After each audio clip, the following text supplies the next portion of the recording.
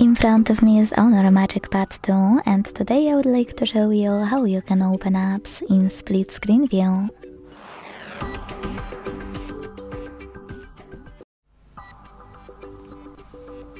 Begin by selecting an app you wish to use in this view on the left side of your screen or if your device is rotated at the top. Launch it access it in the background and click on this icon at the top right corner. Then click on this line at the top of your floating window and select split screen icon, this one. Now just tap on your second app and as you can see I can use both at the same time.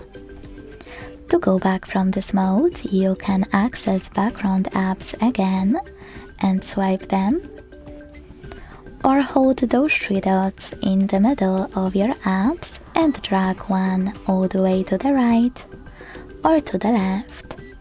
Then hit home button. Thanks so much for watching. If you enjoyed this video, don't forget to leave a like, comment and subscribe. Bye!